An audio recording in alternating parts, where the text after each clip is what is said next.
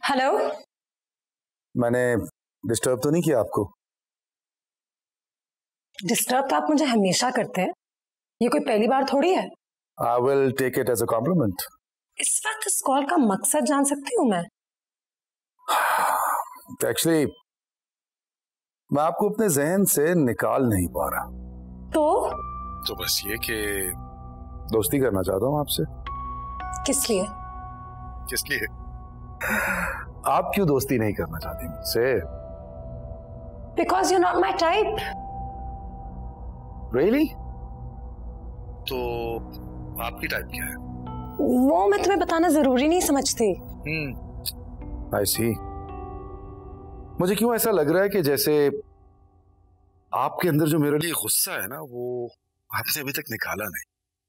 अच्छा अगर मैं गुस्सा ना निकालती ना तो मैं आपका कॉल नहीं आंसर करती। वैसे भी तो मुझे बहुत अजीब लगते हो। चले जी शुक्र है। आपसे तुम पर तो आई आप। या फिर मैं भी तुम पर आ जाऊँ? मुझे तुम और आप मैटर नहीं करता। जो मैटर करता है वो ये है कि आप अगली बात क्या करने वाले हैं। और वैसे भी तुम मुझे बहुत अजीब लगते हो। अरे अरे अरे। तुम तो शर्मिंदा कर रही हो मुझे। मुझे यकीन है कि तुम शर्मिंदा नहीं होते होगे। हाँ होता तो नहीं हूँ। खैर ये बताओ कि मिल कब सकते हैं हम?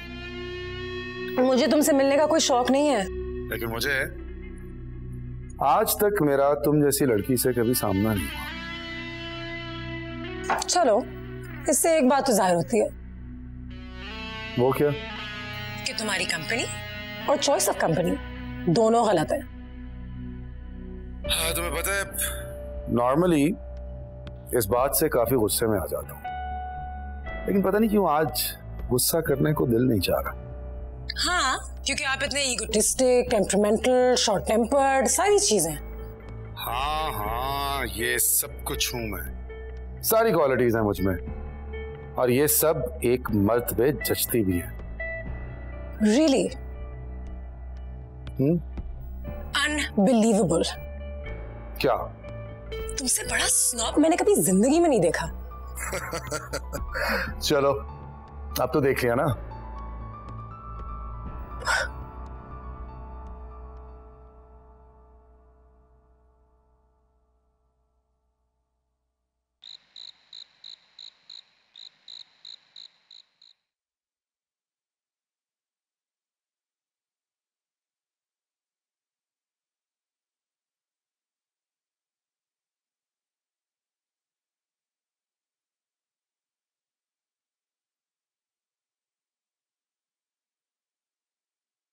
मोहित?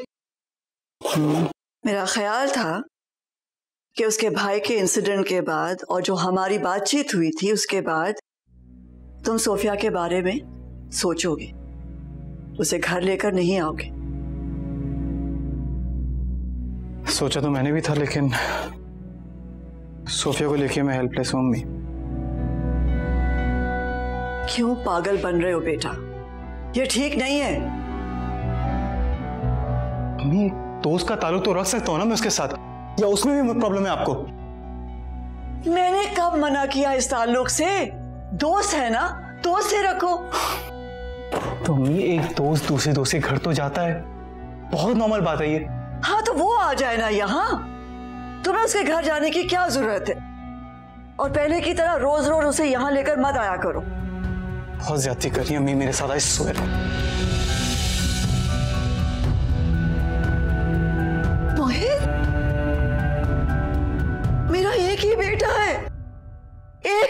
बेटा है और कोई नहीं है मेरा इस दुनिया में। मैं उसे खो नहीं सकती।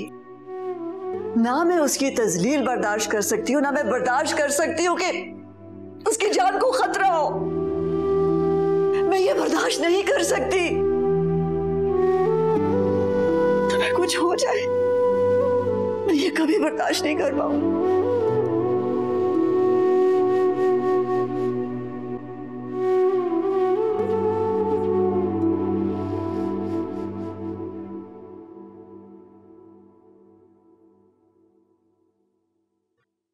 क्या चीप आदमी है? नो यार बड़ा छिचोरा you know I feel pity for this nation sorry for this nation जिसका मुस्तकबिल सियासतदानों की ये अगली नस्ल है। मैं तुम्हारी जगह होता ना तो उसका दिमाग दुरुस्त कर देता। और आइंदा कभी उसका फ़ोन ना उठाता। दिमाग दुरुस्त करने की कोशिश कर रही हूँ। लेकिन जितना मैं लोगों से बात करती हूँ ना इनका दिमाग दुरुस्त नहीं होने वाला। ये एक मैन्युफैक्चरिंग फॉल्ट है। सोच का मसला है, तरबियत का मसला है। और ये एक नहीं, दो नहीं लेकिन तो जितने सारे पॉलिटिशियंस हैं सबके बच्चे ऐसे हैं। और कुछ तो और भी ज़्यादा हैरान कौन है? जैसे कि ये आशिर रईस, सिर्फ़ और सिर्फ़ डिग्रीज का फ़र्क है। सोच एक ही है, तरबियत एक ही है। तुम ठीक कह रही हो।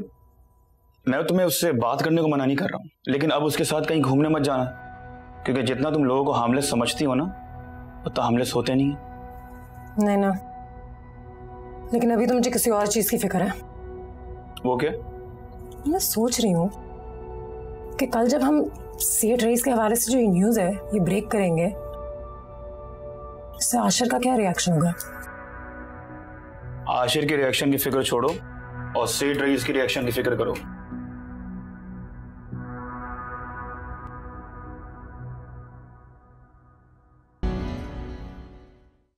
मैंने तुम्हें कहा था ना कि सब कुछ ठीक हो जाएगा। तुम्हें लगता है सब कुछ ठीक हो गया? अप्रैली तो सब कुछ ठीक हो गया है ना। सईद मुझे कॉल्स करने लगा I just can't stand him chill करो। और लड़कों से भी तो बात करती हो उससे भी कर लिया करो। क्या फ़र्क पड़ता है? नहीं क्या हो रहा है मेरे साथ। मुझे तो तुमसे ये गिला है कि तुमने मुझे अपनी मंगनी पर भी नहीं बुलाया। मैं तुम्हें किस मुँह से बुलाती? तुम्हारे कहने पे मैंने कॉम्प्रोमाइज करके मंगनी तो कर ली, लेकिन मैं शादी कभी नहीं करूँगी। यू मार्क माई वर्ड्स अच्छा मत हो